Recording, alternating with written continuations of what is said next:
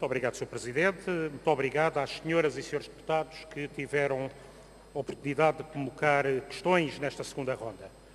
E muito especialmente eu gostaria de saudar o Sr. Deputado Helder Amaral pela posição, diria, construtiva e manifestando o acordo relativamente a esta necessidade de olhar para o futuro, olhar para aquilo que é a necessidade de construir uma larga convergência em torno das políticas para o interior.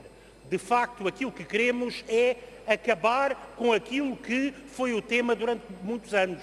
Durante quatro anos, quando se falava de interior, o que estava em causa é o que é que fecha esta semana, o que é que, é, o que, é que vai fechar nos próximos meses.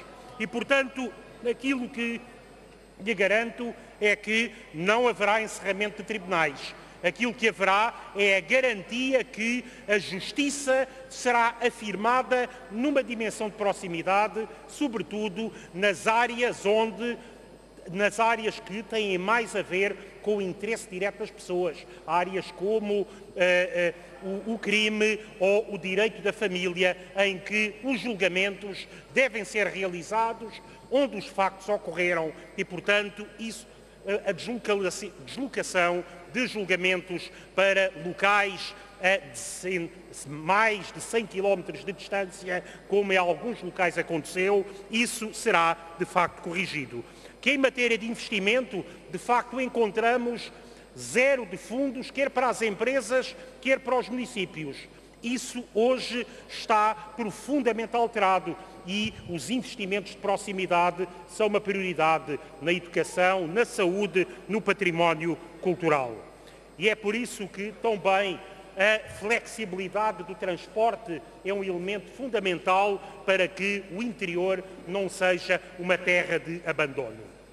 Sinteticamente, senhores deputados, eu estou de acordo com aquilo que é a importância de, em diálogo com as estruturas locais, com as associações de municípios e de freguesias, nós discutirmos quais são os critérios de avaliação daquilo que foi uma alteração às freguesias feita de cima para baixo, a regra esquadro, sem ter em conta a vontade local. É esse o compromisso do programa de governo que iremos honrar mas não basta aqui uma dimensão puramente administrativa. É necessário a promoção do emprego digno no interior, como em todo o território nacional. E por isso, Sra. Deputada Rita Rato, a defesa da igualdade territorial e de igualdade entre homens e mulheres é uma matéria que no mundo do trabalho levaremos ainda até ao final deste mês à concertação social para que, para empregadores e para trabalhadores,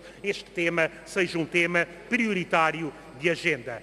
É por isso também que promoveremos a participação municipal, quer eh, nos projetos de, de, dimensão local, quer na valorização da participação das comunidades intermunicipais na afirmação do desenvolvimento e da coesão territorial. Acho que o largo acordo que é necessário voltar a página para o futuro, de que só o PSD se agarrou aqui ao passado, acho que constitui a base para um debate que não pode terminar hoje e que agradecemos ao PSP a iniciativa do seu agendamento.